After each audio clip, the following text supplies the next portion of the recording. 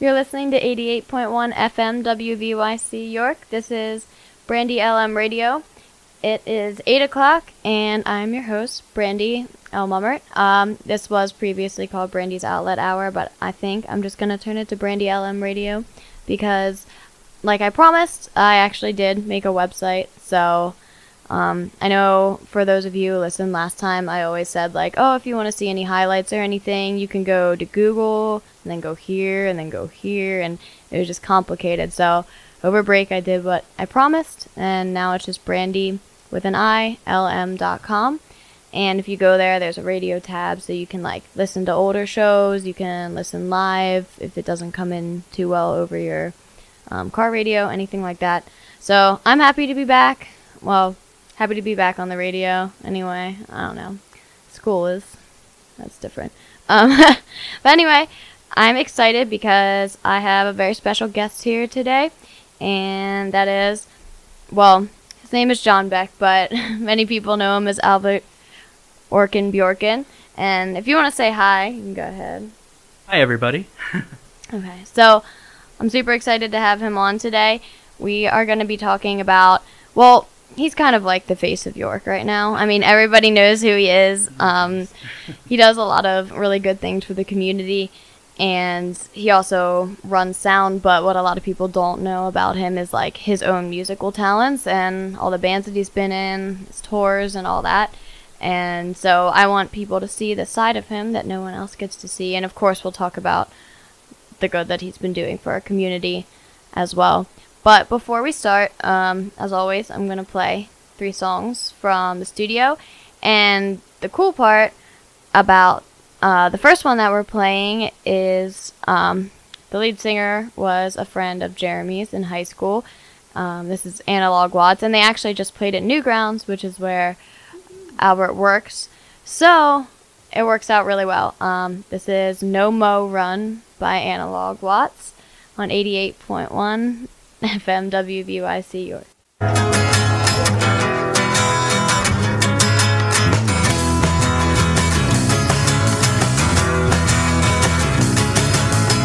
Sit silent and stare.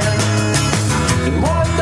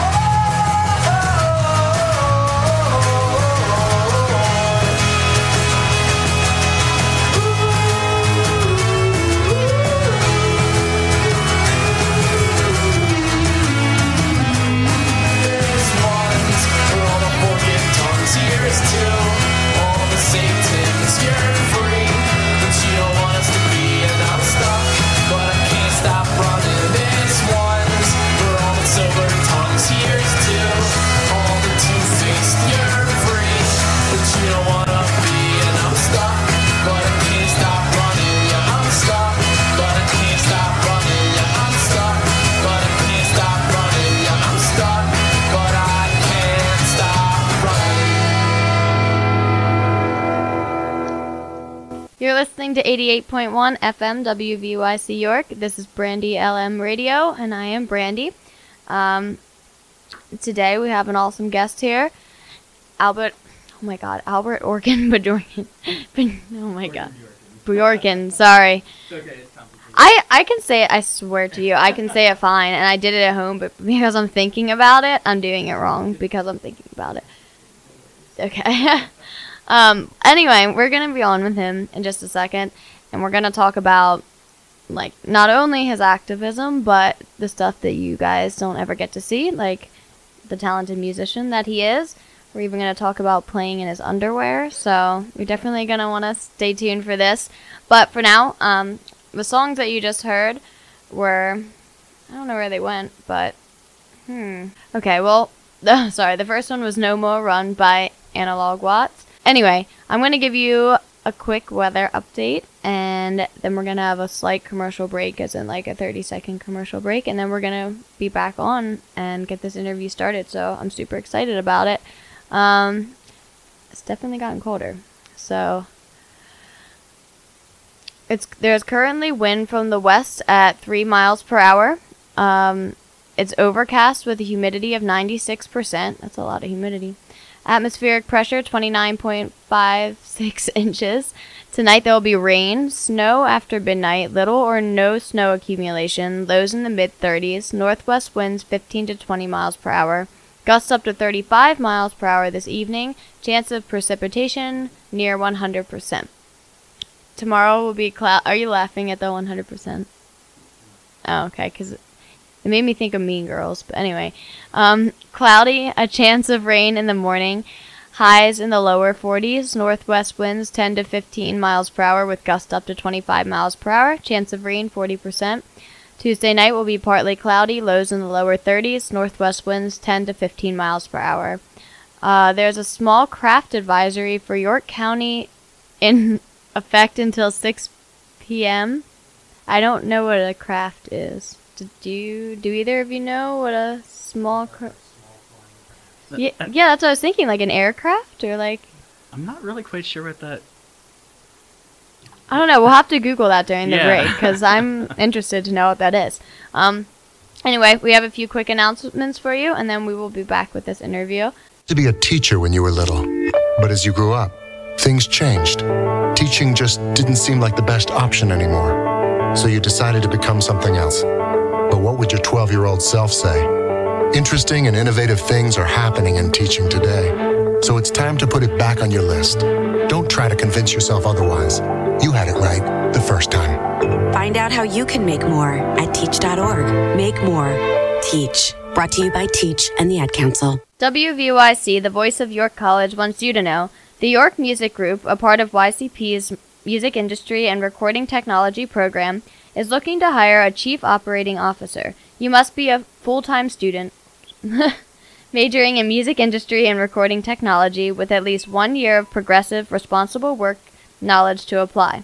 This is a paid position. Interested candidates should submit a cover letter and resume and three letters of recommendation to Dr. Sean Young at syoung the number 23 at ycp.edu before March 15th. Again, if you were interested in that position, it's S Y O U N G 23 at ycp.edu. All right. And I don't know. I thought that sounded cool for you, but then I realized the student part. My bad. Okay. Not even an alum- alumni, actually. Well, you may not be a student, but who are you? I'm John Beck, uh, aka Albert Toast Unicorkin Orkenbjorken, Okay, Or- I'm gonna let you be responsible for saying that. or uh, I also go by LBJ, which is uh, short for Little Big John, because I'm short and fat. It does roll off the tongue very well, though. Little Big John. yeah. I like that. That's Thank you. funny. Thank you. Okay, so basically, you're known a lot for your activism, and you're basically like the the voice of your county right now. I mean, um, so we see you on the news and stuff all the time, and then also people know you as the sound guy, the sound guy. That's sound guy, the yeah. sound guy for especially Newgrounds, but it's really like all over the place. So we'll talk to you like more about that. But I want you guys to get to see the side of him that you don't always get to see. But I do want to start a little bit with your work in the community, especially at a time like this when you know everything is so divided and stuff. Like I don't talk politics on this show because I don't I don't know. I just don't want to get into that. But um just I don't know, at a time when things are so divided, what are you doing?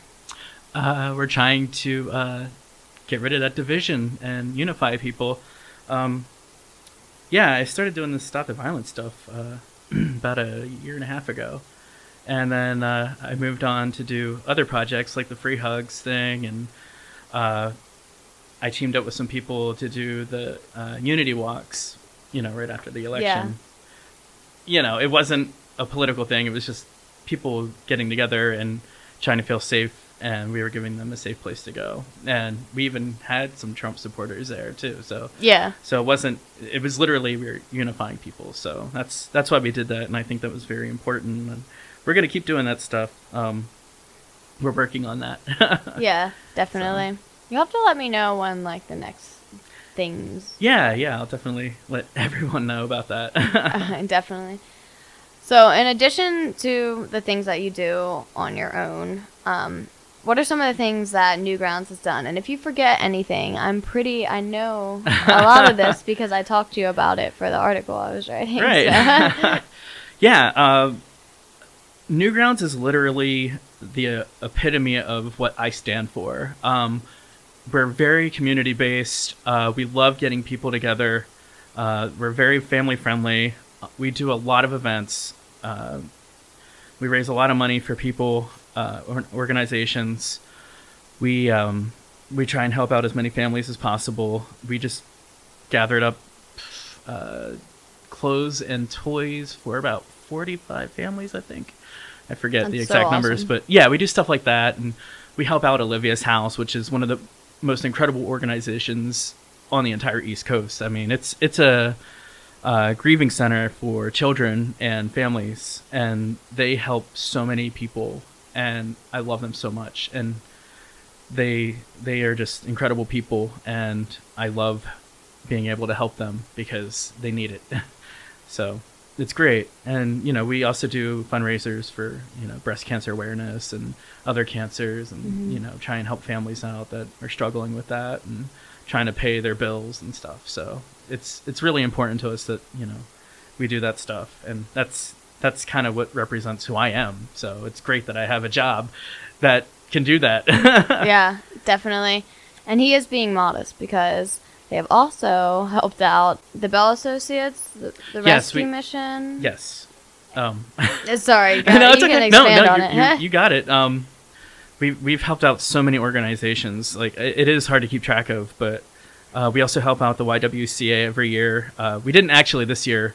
There was too much of a schedule conflict, but we help out with the breast or the uh, domestic violence um, awareness month. Uh, we do a we usually do a benefit concert, and we have uh, survivors uh, that are actual performers, and we come up and they come up and they'll either do poetry or sing, and we try and raise money to help out with uh, raising awareness and stuff like that. So yeah, it's it's really important, and we're very unique because there isn't a whole lot of spaces that do that kind of thing around here. And like, there's, I mean, there's some obviously, but uh, we're one of the few main music venues that do that kind of Yeah. thing. So and it's I don't know, it's awesome. Like you're so much more than like a coffee shop.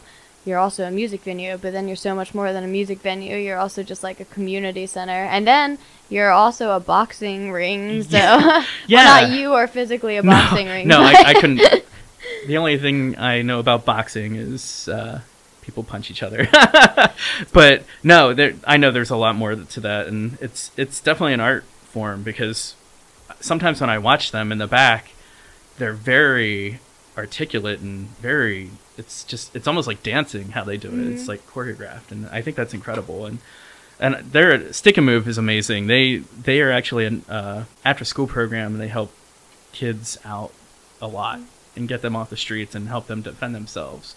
and they also do personal training for adults too. So they're they're awesome. So I'm really glad they've been a part of the family. Good Yeah. people.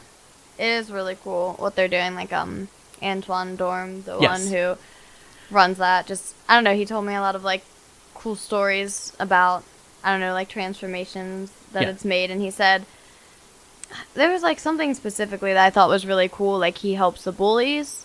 I mean, he helps the bullied like build confidence, but then he also helps the bullies by showing them like you know it's not that easy. Like Yeah. and No, it- kind of It, it's amazing. His son is amazing too. He's Yeah. only 12 and he got third place in the Junior Olympics in Texas. yeah, like That's pretty uh, so basically, impressive. he is the third best boxer in the United States. so like, far as well, that, like as a young that age group, yes, for the age yes, group, yeah. which is just incredible. You know, Yeah, to have it- something like that in New York, uh, traveling that far and to be able to take on all those people. yeah, it's incredible. Like that Mm. so cool. So I'm, I don't know, it's just awesome that Yeah. there's something that close to home, and it's a really good program. so, um, I know one of the other ones you mentioned was Heavenly Paws. Yes, uh, they are a non-kill shelter, and they help out lots of cats. Yes. and I, that's really that's another thing that's really important to me too is animal advocates um, advocacy. I am a part of several groups uh, that help out animals, and it's really important. And I wish I could do more with it, but I have four jobs, so it's really hard. But Yeah. I, I love what they're doing. I and uh, I help out Heavenly Paws uh, a couple weeks ago. Uh, we did a fundraiser with them with uh, the guys from the Fortress, which is another amazing thing.